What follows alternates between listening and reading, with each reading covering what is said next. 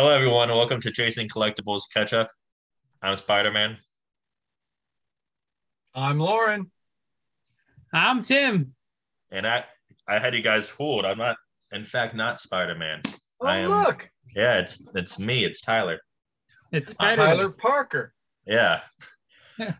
so uh, I know you guys were like, how'd they get Spider Man? Um, that interview's coming eventually. Well, actually, we did interview Spider Man before. Yeah. Um, so we sure did. Yeah. But uh, wel- welcome to another episode of our show. We have a very uh, exciting weekend coming up. Uh, what's coming up this weekend, Tim? Heroes Con. Heroes Con 2022. And this the is the this 40. is the fortieth fortieth Yes. anniversary. Yeah. And we, uh, you could, uh, I'll put a link in this video um, if you want to revisit our interview with Shelton, who is the organizer of Heroes Con. And it was super cool talking to him about the behind the scenes of Heroes Con and what it takes to run it and the history behind it. And uh, Mhm. now we're almost here. So, what do you guys, uh, what are you guys looking forward to about the show? Well, I'm looking forward to seeing all the uh, all the different vendors that uh, a lot of our friends are there. A lot of people we don't know. It's going to be exciting to see some really cool books. Um, not that I'll be able to afford any of those books, but it'll be just great just to see them up and about and just to see uh, everybody back together again after so many years of uh, not being able to do this. So it's going to be really, really cool. It'll be fun to see some cosplay people. You know, some of these guys and girls, they really go out and they really do it right. So it's Yeah. it's going to be fun. What are you thinking, Tim? Well, uh, much like Loren, uh, I am looking forward to seeing a lot of the vendors. Um, you know, a few of the guys that I don't see throughout the year. Uh, and at, you know, this show being the biggest show in our area, uh, Mhm. this is definitely uh, the one that brings everybody, you know, uh, vendors from all all around, just you know, not just our area, but uh, around the country, pretty much. And then there's uh, a number of talent. There's a lot of talent that's going to be there. I'm super super psyched to to get to meet. You know, I, I like to get autographs, and um, I usually get at least one or two of those books graded. You know, so that it's it's authenticated and and uh, you know Roy Thomas might be one this time. This time Hmm. around, he's going to be there. John Romita Jr. He's going to be there. He's back on Spider Man now. Yeah, yeah, and, and, you know he's one of the greats. So um, you know There used to Darryl Banks.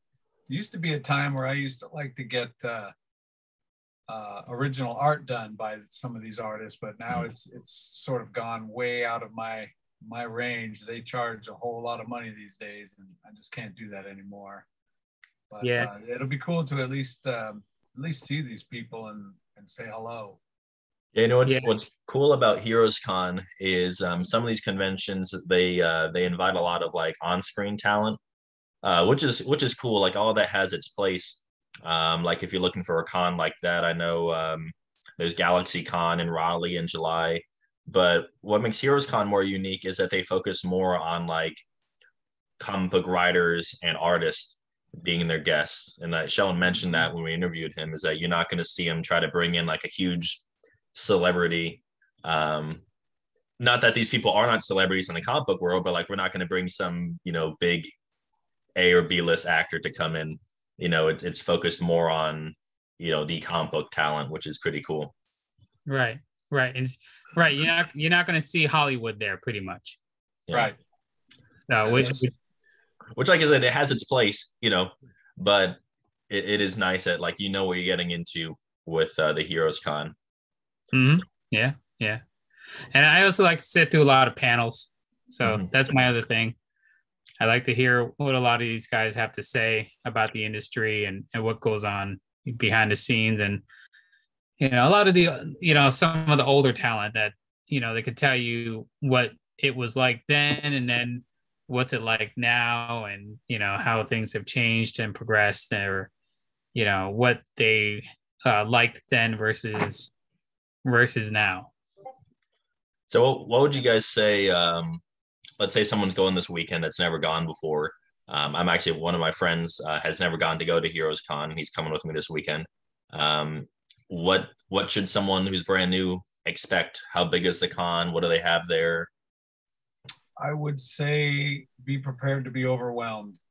Yeah. I mean, seriously, um, when you're on the top level before you get to the escalator and you look out that window and you just see the vast amount of setup that's in that building, it is, you don't even know where to start. Right. Uh, and you- you may not even finish it and think you did uh, Yeah. because it is so big and it is i mean there every everything's there from t-shirts to people selling keychains comic books Pops, toys toy, yeah. pops everything it is it is overwhelming but it is super super cool. It'll take you a good four or five hours just to uh, make sure that you've seen every single booth. So yeah it's really it's Depend- really really cool. depending on the kind of shopper you are with comic books, it might take you multiple days. I know when I uh, when I've gone to cons with with Tim, Tim's Tim takes his time a lot more than I do, and you know I'll be like, okay, you know I do my lap around, and Tim's like still at at booth number one, and I'm like, all right, another lap, and I feel like a kid at like a grocery store sometimes when I'm with Tim. You know, Yeah. it's like when when we going, Dad? You know, when we get McDonald's. And i'm hungry i'm hungry I think. I think at uh when we went to the Clemens show, um, I think like Tim jokingly introduced me as his son to somebody, but the guy didn't know any better, and I think he probably thought I was. So, but it is there is a lot. You know, you will be overwhelmed going to, going down those escalators. But Yep. the plus of that if, is if you're looking for something, uh, unless it's something very very niche, I think you should be able to find it at the Oh, show. yeah, there's there's people there that will have every book that you could think of. Everything you, you might even see a uh, action comics one. You'll definitely Yeah. see Amazing Fantasy one there. Mhm. You'll see Yeah. you'll see every book that you could ever imagine. More than likely. This Um, this is the show. Like, yeah, if you're looking for that book, yeah, this is the show to find it. And Yeah. and our uh we, we can kind of tell you this as people who have like are friends with vendors i mean over the past couple of weeks i've seen people posting on facebook and various social medias saying that how they're getting ready right they're showing like oh i'm, I'm pulling this out like they bring out the big the, the big guns you know for this show so it's it's a pretty cool show just to even if you can't afford certain books just being able to walk around and be like oh my gosh that's a restored batman number one you know that's like wow Yeah. yeah. And just if guys, if you're walking through there and you know you're seeing vendor after vendor, just remember how much work that they put in weeks and months in advance of this show. They work super, super hard to get ready for a show of this magnitude. And I hope one day that the three of us will be able to get to do it. But um, man, just Mm. give give the love to the to the vendor. Look forward to a great time. The cosplay is absolutely Mhm. fun. You're gonna see some great uh just some really cool costumes. It, it never never fails. There's always great costumes. Yeah, and I as um and uh, I- I'd say with cosplay, everyone's pretty pretty friendly. I would just make sure if you see somebody that like you're like, wow, that's a cool costume. Make sure you ask somebody first before you like, you know, take a you know if you want to take a picture with them. Mhm. You know, Mhm. most people are very friendly and want to show off their costumes. You know, but just you know, ask somebody, hey, I like your, I like your Spider Man. I like your Kingpin. Can I take a picture with you? And most people will be like, oh, of course, and they they enjoy it. So That's good etiquette. Yeah. And, You- you know, a, a fun thing that we should do, guys, is is uh, you know, see if we can get see how see how many uh people that we could get to to pose with us. You know, and Yeah. it'd be kind of fun. I did this thing when I was in uh was it Chicago or Orlando with Nick, and uh I brought this little um do I have it in here somewhere? It's this little Spider-Man ball thing. It was it was, and I would have the person that was dressed up. I would have them pose with it. Mhm. it was just I had all these pictures. You know, it was just kind of cool. It was just something different. You know, it's Yeah. like it's like uh, bringing a chair or a little a little something to every place that you visit. Yeah. it in It's like a flat. Stanley. Yeah, yeah. Yeah. Well, I was that little thing at? I was wondering, guys, if we could go around and Tim, you can start. What is one piece of advice you give to somebody about like going to a convention? And this is not a normal. This is a big one. So, what's the piece of advice you give to somebody trying to have a good con this weekend? Um, look online at the uh, the website for the convention and make yourself an itinerary. That's good. I like that. Mhm. What about you, Loren? I would say just have patience with yourself, um, because you you- you're just going to have so much to look at and so much to see. Uh, if you have an app on your phone that you keep track of your comics, definitely have it updated, Mhm. have it ready. I can't tell you how many times I've gone to conventions and purchase a book, get home to put it away and find out, oh, That's the best feeling. I've already got it. I've already got this book. yeah. And not that it's a bad thing, but you know, that was maybe $15, whatever you paid for it that I could have spent on something else. Yeah. Yeah. And, uh, but uh, so make sure your your your collectibles app is updated and that you bring it with you. A lot of people still go old school and have their lists with them, and that's great too. So bring a list of stuff that you're looking for, um, and just you know just have fun trying to find everything that you're uh, hoping to get. Yeah. And I- and I, I would say with my my piece of advice is just uh, know that everyone everyone's there trying to have a good time and it can be sometimes a little overwhelming when you're at a booth and it might be a little crowded. I know I'm I'm naturally pretty introverted guy, so when you're in that position when you're like I'm trying to get to the bees and it's all swarmed, Mhm. you know, be patient and it's okay to like speak up and be like, hey, can I get through in there? Or especially ask the vendor if for questions, you know, if you're like, do you have blah blah blah? And they'll help you, right? The vendors are there to want to sell books, right? So be sure to ask, you know, be polite and uh oh Yeah, there's too. also uh, Tyler. What you're saying is ask them because they may have it, but it might not be showed. You know, might Mhm. not be sitting there. They may have it in a box on the floor or behind them. Um, only they're gonna know because they've gone through, like I said, they've been weeks on end getting ready for this, so they know what they brought. yeah and um also with with stuff on the rack you know don't be afraid to ask for someone on the rack you know can i get a can i get a closer look at this or what's your price on this? Um see i'm trying any other piece of advice you guys? Um, depending on your your budget and how long you're going to be at the show, uh, food there is very expensive. So oh, yeah you know you can either pack yourself a small small lunch in your bag, you know, or uh, or just you know bring a few snacks. Like that's pretty much what I do. yeah there are some good places to eat in, down, in uptown charlotte though There so if you you know just know you'll be paying you know it'll be you know going out to eat money but Yeah, I I, I do do that at least one day. It it is good. Uh, let me let me pose a question for you guys because I'm plan my my plan this weekend is I'm trying to get a key. I'm trying to get a Silver Age book, uh, one of like the first appearances of a character in Batman. And um, I know when you first see a book, you're kind of torn because you're like, okay, should I get it now, or should I walk around and see if I can find another one? The plus side of walking around is you might find a cheaper one or a better quality one. The downside, you walk away and that that key book could be gone. So do you guys have any like philosophy on what you I I'm I don't I'm not consistent. Like I've I've done both. I've walked around and found a book and been like perfect. I've also bought the book immediately because I didn't want to lose it. So do you guys have any thoughts about that? Um, Um, go ahead, Loren. go first. We're Okay, so okay, polite I'll here. I'll. So I would first know the value of that of that book, like a ballpark value. And if I see it, you know, the first if I see it, you know, as soon let's just say as soon as I walk in there and it's under the value, you know, of what I was thinking it was gonna be, more than likely I'd probably just get it at that point. If it's way over, then I'm gonna walk around. Yeah. Yep. Have a, have an idea of what of what you're willing to spend, and um, if it's if it's a large amount of money, um, ask if you can look at it up close.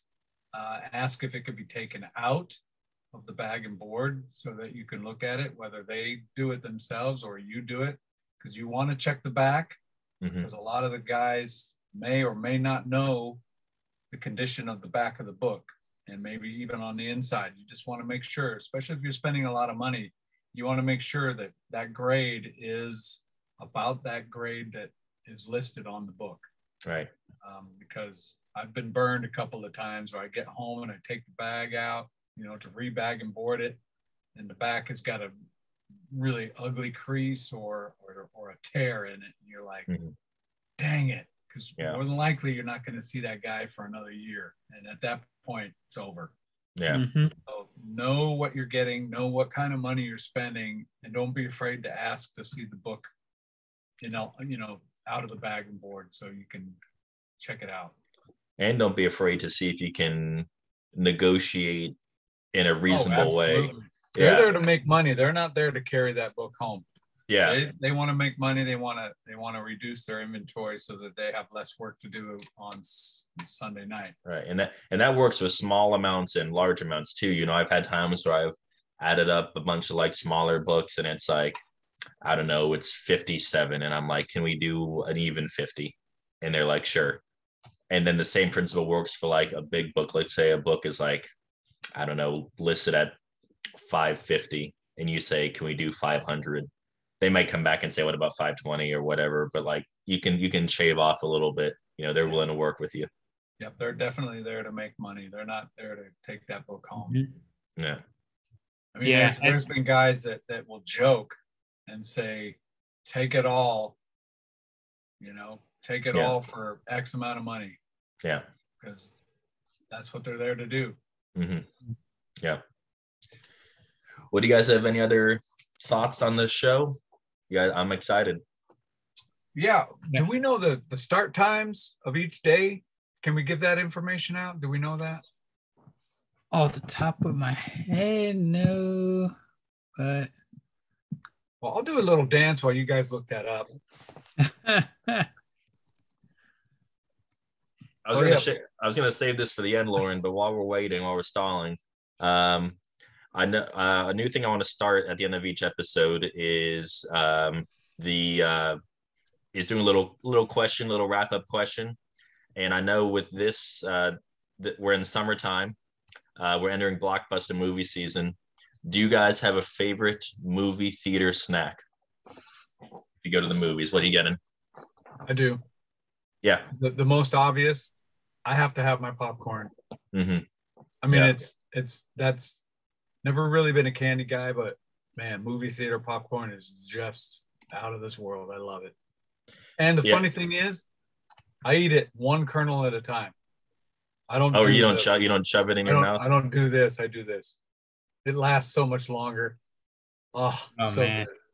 It's funny because I've I've had times where my wife and I have gone out to eat before a movie and I'm full, and I'll still go and get like a small popcorn. I can't not have popcorn Yeah. watching the movie. yeah, same here. And I'm I'm telling you, like now Loren's got me feeling bad. Like I'm s- I'm just like I'm such a beast. I, I just you know There's nothing, nothing wrong with that at all. It's just Yeah. the way I do it. I, I I've been doing that for years and years and years. It's just like, you know, one at a time. Just lasts longer. Because if I Yeah. if I sit there and chug it down, it's I'm I'm like a quarter of the movie and I'm like, dang, yeah, I have nothing left to eat. I Yeah. used when I was younger. I used to really like um, uh, I used to like dots. You know those little like the little Yeah. chewy. Yep. Those things will pull your teeth right out of your Yeah, I don't. After I had braces, I kind of like there were some foods I never got back into eating, and that was one of them. I was like, eh. Oh, those Swedish sweet, Swedish fish Yes. are great. You know? Yes. Yep. Um, Tim, is Snow that what? is Snow that your- caps are the bomb too. Oh yeah. What about you, Tim? Besides movie, do you have anything besides movie theater popcorn, or is that your go-to? uh soft pretzels and cheese, man. Oh man, I'm see now convention day Saturday. I gotta have a soft pretzel. You know If what's they don't have it, somebody's going to be in trouble. I'm going to go hire a bunch of these cosplays to go rough them up. You know, it's a really cool experience, and it's closed in Charlotte. There used to be one in the epicenter, but it's closed now. It's called Studio Movie Grill, and it was a place where you went and like you saw the movie, but also it was like a dinner place. So like you Yeah. ordered food, like there was a button on your seat that you press whenever you like wanted service. Yeah. It was really I neat. there's, I think there's a place like that at the Arboretum called Cinebarre. Cinna- Oh, really? Cinebarre, I think. Yeah. I, love. I've, I've done that a couple. There was one. There's a really famous place called the Alamo Drafthouse in Texas that I went to and saw Spider-Man: Homecoming. Uh, that was really neat. But you know, it's it's cool when they try to make movie theater experiences a little bit more, I guess, unique like that. Nice. Um, I, I've got those times for you, Loren. yes. Okay, let's go. So- Let's put it out so- there for everybody. Showtime on Friday, June 24th, 11 a.m. to 7 p.m. Woo. That's a long day. It's a long day for those guys. Yeah. Yeah, real long. And then they have to come back Saturday, Saturday, June 25th from 10 a.m. to 6 p.m. Man, and you and you know these vendors are there like at least at least two, three hours beforehand. hmm Yeah, and after too. Well, maybe not so much after because I think they kick them out pretty quick. Yeah. yeah And then Sunday, 11 a.m. to 6 p.m. Nice. Wow. It's gonna be a good Big time. days. Big Yeah. days. Well, guys, I am super excited for the convention this Saturday, and uh, we'll be taking pictures. I know we're gonna go live at some point. Yeah. We're gonna take lots of pictures. We'll take some videos. So we'll have a live video that day, and maybe probably the end of the day or so afterwards, we'll have some lots of pictures uh, to share with you, and then we might do another video uh, the week after, going over what we did and what we bought, and and how much trouble we're in for spending so much money. yes, and and let me just say, you guys uh, that are watching, please subscribe to our YouTube channel. Please pass it on to at least two friends, three friends, four friends.